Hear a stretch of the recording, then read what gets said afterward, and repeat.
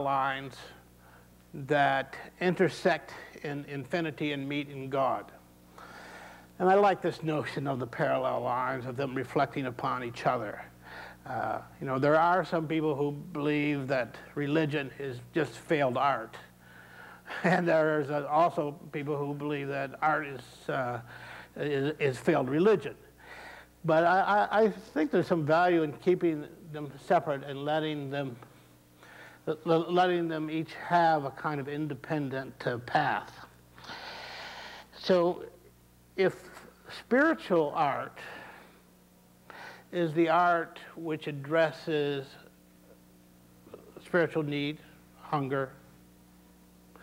Uh, religious art then would be the art that addresses institutional need, need of uh, the church. Uh, institutional needs, education, uh, edification, proselytization, all of the traditional things that an organization uses art you know, to, to promote they are different forms of art. Now, all arts, Whitey's, uh, all arts are not equal. Some are better uh, at separate tasks than others.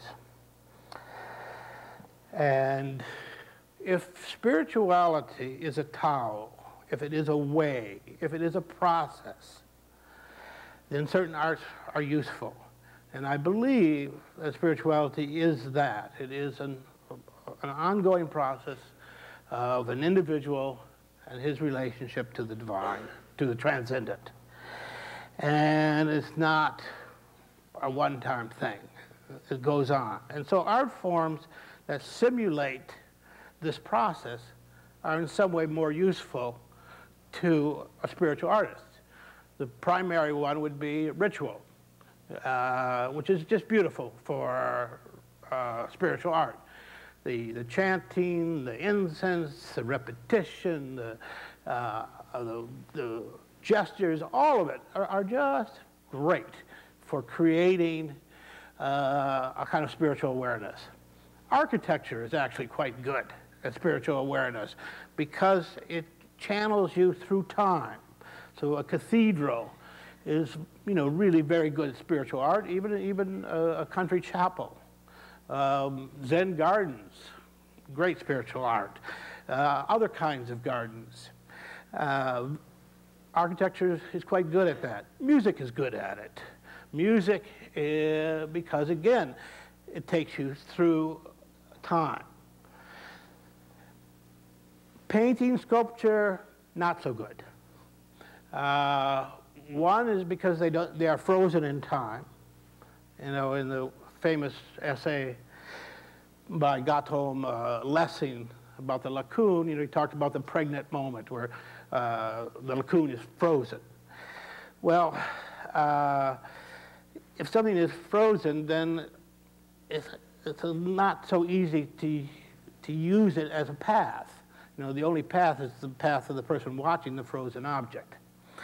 Uh, you know, and also on top of it, it has physical representation, which is always a problem in spiritual art because it brings you down. The moment you have physical representation, you're, you're caught by the potential of emotional identification, and then that lowers the stakes and starts to make, you know, uh, the divine, the quest for the divine a, a kind of quest for uh, divine feelings or for a kind of humanness. Uh, you know, maybe that's why uh, religion has always had so much trouble with painting, uh, you know, from the Cromwell's Puritans or the Islamists. They don't like the graven images because it, it, it, it can really be counterproductive in a spiritual way not as religious art, but as spiritual art. In fact, I think the, the greatest of the spiritual painters, uh, Mark Rothko, his most spiritual work is in fact in the Rothko Chapel in Houston, where there are, uh, what is it, seven canvases or 11, I forget. But it is where he combines architecture with his canvases, and he combines the whole concept of space and time with, with his canvases. If I had a chalkboard here, you know, I would write, I underlined it, emotional identification is the enemy of spiritual awareness. Because it takes the notion of God and reduces it to human emotion. And so uh, I want to believe in God because I feel sad or because I admire the priest. All of this demeans the spiritual quest. And uh, physical realism in art, of course, uh, is, one, is the primary me mechanism for emotional identification, for empathy. So physical realism is always a risk. Now, of all of the arts, motion pictures are probably the least well equipped to convey spirituality. In fact, they're really, really bad at it. Uh, you know, using movies to create spiritual feeling, uh, spiritual awareness, is sort of like using a, you know, a saw to try to, to hammer a nail. You know, you've got the wrong tool. Uh, and, uh, and it is always kind of sort of sad to see people, you know, using the wrong tool to try to do something. Uh, why are movies so bad at uh, spiritual awareness? Well, two things primarily. Uh, movies are predicated on psychological realism. They are realistic images taken from life often of people just like ourselves who are living in real identifiable time. This makes movies a great mechanism for emotional identification, psychological realism, empathy, uh, and everything about the movies fosters this the way actors appeal to your emotions, the way the music appeals to your emotion, the way plot devices, the way editing, pacing, everything is geared to work your emotions that way. That's what movies really do best. The second thing that uh, is, is really special about the movies as opposed to the other arts, because movies are the, are the only realistic art that moves, you know, they're, they're moving photographs, is the fact that they move. Uh, and movies love to move. Film loves to move. It's addicted to movement. Uh, and we go to films because they do move. Uh, yet, spirituality is not that comfortable with constant activity. Spirituality likes to slow down. It likes to sort of edge its way towards stasis to try to sort of get some peace and perspective. And you have a medium that is, that is driven by hyperkinesis. You know, it's a driven by activity. So that uh, just like emotional uh, identification is the enemy of spirituality in art, so is um, hyperkinesis the, the enemy of spirituality and art. Uh, now, movies do in fact exist over time, and that's helpful, and, it, and, and in the end it, can, it proves useful. But for the most part, the psychological realism and the, the addiction to, to kinetic movement outweigh uh, the, uh, the possibilities of, of working over a two-hour period. In the past, uh, if you wanted to demonstrate the falseness of motion pictures when it came to spirituality, it was always easy to bring up the example of the biblical epics. You know, the sex and sand uh, films from Hollywood of the 20s, 30s, 40s, 50s. because these films were so clearly cynical, hypocritical, designed by committee to make money. So it didn't take much of a, much insight to say these are bogus, these are false, you know, Samson and Delilah and Ten Commandments and whatnot. Uh, but now we have a new standard, which is uh, Mel Gibson's film, The Passion, which is not hypocritical, which is not cynical, which is not made by committee, it's made by one man, a believer. And it's not made for money, even though it, turned out to make a lot of money, it wasn't made for money. So, in fact, it's the real deal. But does that mean it's spiritual? Does that mean it's any really any different than those other biblical uh, epics they used to make? Let's take, for example, uh, you know, a scene from the Passion, virtually every scene, Christ being beaten. uh, uh, you know, and agonized image of uh, Jesus, blood, the sounds, the whipping, the face of Mary, Jesus' brother, the face of the centurion. This is, you know, it's emotional stuff. Is it much different than, say, let's move to another genre, AIDS movie? Mother, son dying of AIDS emaciated boy with lesions on his face, sitting there and mother at his bedside. He's dying. The mother is crying. It's the same machinery, the same machinery of pathos, the same manipulations. Uh, and the same emotions come forth. You well up, you know, with a kind of sadness and then a kind of, of, of, of warmth that you can generally describe as, as positive and, and, and, and, and religious in a way. But it is just the mechanism of manipulation. It's what we do in the movies. We can make you feel or believe almost anything. We can make you have racist feelings. We can make you feel enormously tolerant. We can make you angry enough to kill we can make you so in love you cry. Uh, we can make you feel nationalistic or not. Movies are very, very pliable.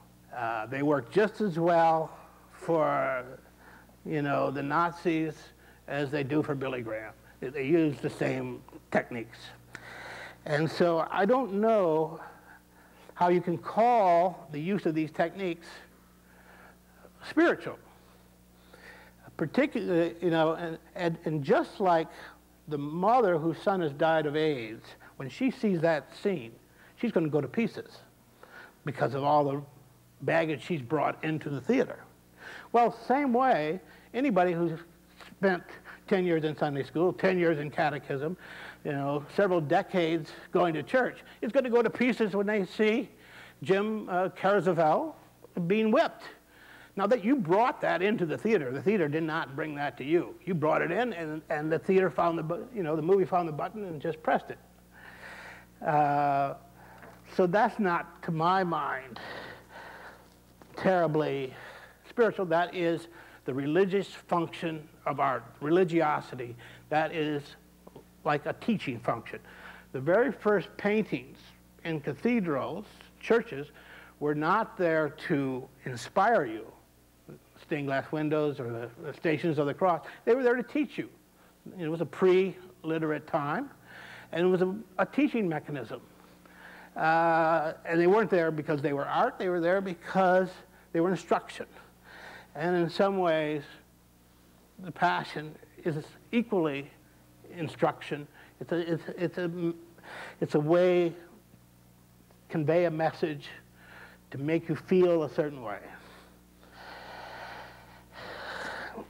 So, and uh, oh, here's it. Oh, I wrote this in the margin. This is an interesting sidelight. Now, because of the success of the Passion, there's a whole new sort of subgroup called uh, cine evangelism, which is these websites that try to interpret conventional movies with religious themes. Um, go to uh, a website, there's one, um, um, one called Movie Ministry, another one called Hollywood Jesus, another one called MovieGuide.org. And they will give you the religious message of a movie. So I, I wrote here, yeah, I looked up Collateral, you know, the, the movie with uh, uh, uh, with uh, Tom Cruise. And the, the, the, message of Collateral is discipline conquers doubt. So it turned out it was a, a religious film after all. Uh, and, uh, but don't mistake, you know, all of this kind of hustling for uh, anything other than, than, than the emotional manipulation it is. Therefore, now we come to the other question what can movies do to evoke uh, a spiritual process? The answer is not much and not very often. But they can do some things. And there is, in fact, a cinema of contemplation, a quiet cinema. Uh, it includes not only the directors that I wrote about years ago, Robert Bresson, Carl Dreyer, Yasuhiro Ozu, but more contemporary, uh, or Rossellini, more contemporary directors, uh, Alexander Sokurov, Theo Angelopoulos, Béla Tarr, a, a, Japanese director, Oyama, and I forget, uh, Eugene, the, the, Korean director we were talking about earlier. You don't know his name either, yeah. Uh, but there are directors out there trying to do this in, with various degrees of success, of course.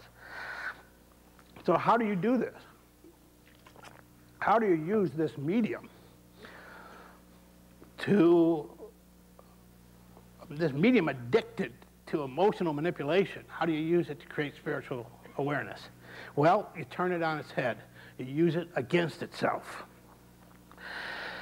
You take a medium and you, you simply twist. Everything is supposed to do the opposite way.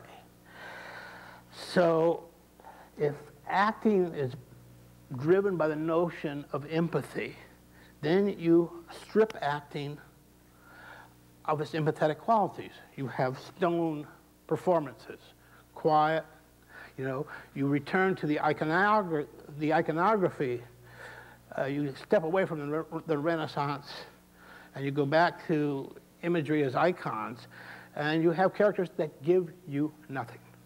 In the case of uh, Bresson, he um, would only work with non-actors. Uh, someone like Ozu would make actors do things over and over again until they finally gave up their attempt to reach across. Uh, you narrative. Narrative is a manipulative device. So you, you try to strip out the narrative. You make things, you fool around with a pace so that uh, when, when the viewer thinks the image should move or the image you should cut, you should splice time to move, new location, you don't. You keep pushing the viewer away keep denying the viewer what they expect from the movies. Music in particular. Don't give them that cheap enforcement that music does. That's what music does in movies. It runs behind the scene with a mirror saying happy, happy, happy, sad, sad, scared, scared. and, um, and when the music doesn't do that, you get confused. You know, what, what, are we supposed to be scared now? It, it looks a scary scene, but there's no scary music. Um, and so you, you know, strip, strip that away. Um, often you will double